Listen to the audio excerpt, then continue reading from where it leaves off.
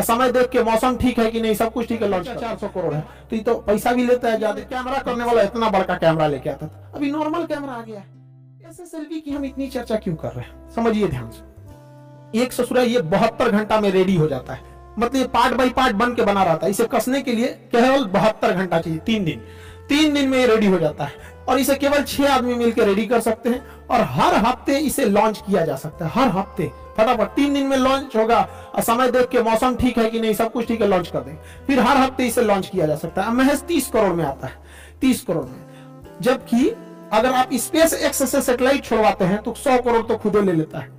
यहाँ तो तीस करोड़ का पूरा रॉकेट वे है और खाली छोड़ने का सौ करोड़ ले लेता है।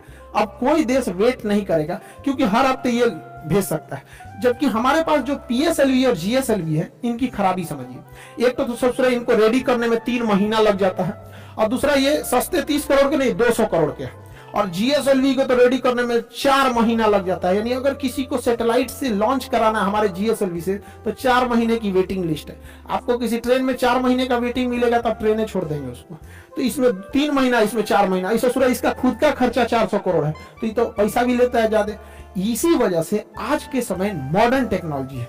मॉडर्न टेक्नोलॉजी में हर चीज़ छोटा होते जा रहा है। पहले शादी ब्याह में कैमरा करने वाला इतना बड़का कैमरा लेके आता था। अभी नॉर्मल कैमरा आ गया है।